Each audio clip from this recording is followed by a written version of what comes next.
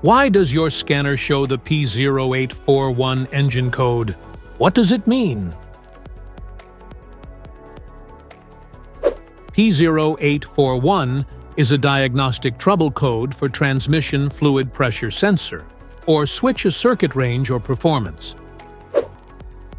It indicates that the sensor has found out-of-range pressure or abnormalities in the transmission fluid pressure within that sensor's circuit. Under this circumstance, stop driving and repair your vehicle immediately. So, what causes this imbalance?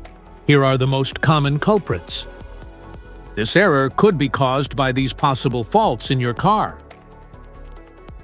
Transmission fluid Transmission fluid pressure sensor Transmission control module, TCM, or Powertrain Control Module PCM, Electronic Pressure Control Solenoid, Transmission Fluid Pressure Sensor Circuit.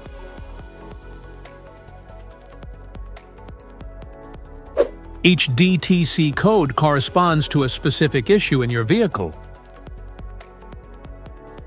This code can appear in any vehicle with an OBD2 system, especially those made after 1996.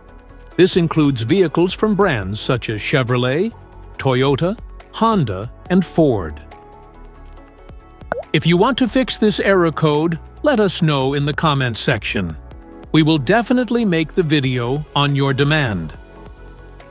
If you like this video, don't forget to subscribe to our channel. Thanks for watching.